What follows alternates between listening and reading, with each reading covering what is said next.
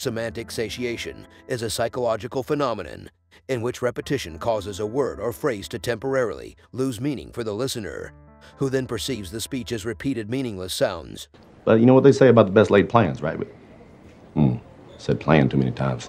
Word's lost all its meaning now. Plan, plan, plan. No matter. Hey, you tell Man City that this man has a plan. Plan, plan, plan, plan, No, plan. plan, Plan. Plan. Like flan. Plan. Flan? That dessert? Yes, like flan. Yuck. No, I, I don't dig on flan. Plan. Plan. Plan. Plan? Word becomes sound. What's that called again? Semantic satiation. yeah. Okay.